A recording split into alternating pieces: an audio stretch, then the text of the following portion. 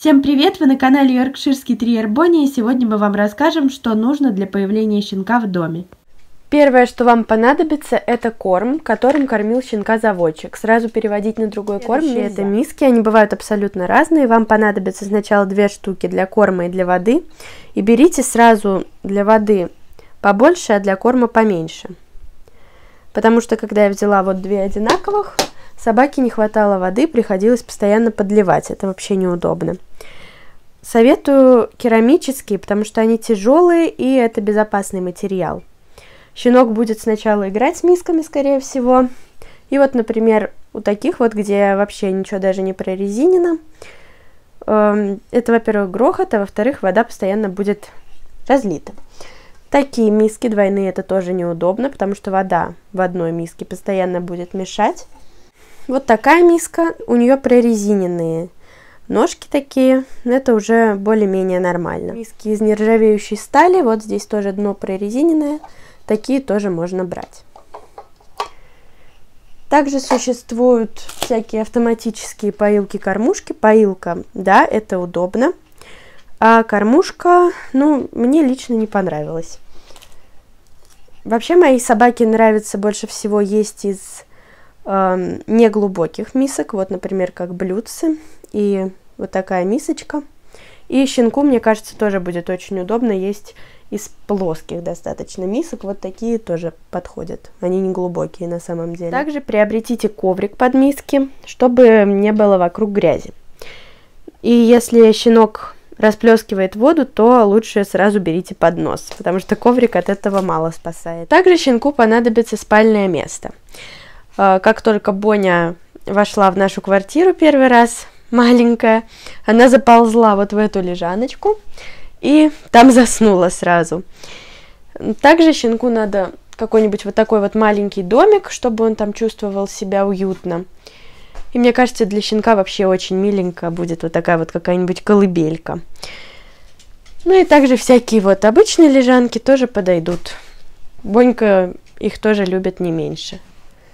Но чаще всего спит она, конечно, вот в этой колыбельке, потому что она очень Надобится мягкая. шампунь для щенков и какая-нибудь обычная расческа. Также купите когтерез и зубную щетку, чтобы щенок привыкал к этим предметам, потому что иначе потом будет сложно приучить. Э, просто давайте нюхать, ну и так далее. Паста зубная вам точно не понадобится, потому что эти зубы у щенка все равно выпадут. Переноска. Мне кажется, вам обязательно пригодится вот такой вот пластиковый контейнер. И также купите какую-нибудь сумку, ну либо на плечо, которая вешается, чтобы голова собаки торчала, либо же вот такой слинг. Но мне удобнее всего вот такой вот э, тряпичный слинг. Это просто незаменимая вещь теперь у меня. Потому что, например, вот в этих сумках у меня, например, собака душится. И вот даже в этой красной, а в этом слинге нет. Игрушки.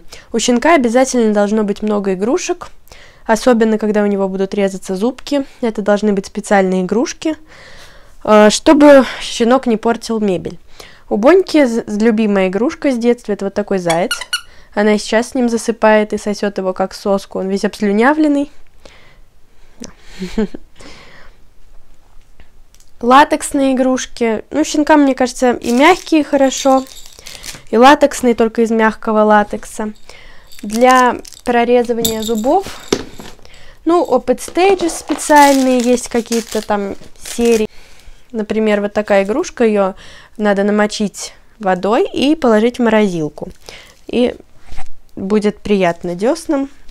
Канатики, специальные вот какие-то игрушки для щенков. Тут пупырышки и вот косточки.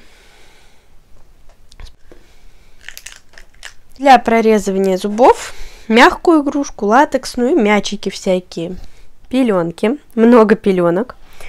Можно взять многоразовую, лишней не будет. И не многоразовые. А, есть дешевые для животных, есть дорогие для животных. Ну, я сюда не все, конечно, вытащила. Ну вот, например, такие вот и вот такие, они клеются к полу. И отодрать это потом вообще невозможно, поэтому они мне вообще не понравились. Для детей хорошие вот пеленки. Для животных тоже вот хорошие. Чаще всего мы берем вот такие просто для детей. И сейчас стали брать 60 на 60, это гораздо удобней. Амуниция. Говорят, что с щенком нужно гулять на поводке, чтобы он был послушный. Но мне это было неудобно, я гуляла на рулетке. Если у вас щенок маленькой породы, то возьмите лучше сначала на тросе, потому что Бонька не могла тянуть ленту, когда была маленькая. Также говорят, что от шлейки будут кривые лапы, если в детстве гулять на шлейке, и надо гулять на ошейнике. Я не могла представить, как на такого маленького хрупкого комочка можно одеть ошейник, так еще и тянуть. Мне было-то ее страшно на руки лишний раз брать. Я гуляла на шлейке. Все у нас прекрасно, тфу-тфу-тфу. Главное, чтобы шлейка была правильная, тогда никаких кривых лап не будет. Вот так вот выглядит правильная шлейка. Также рекомендую вам приобрести для щенка вольер.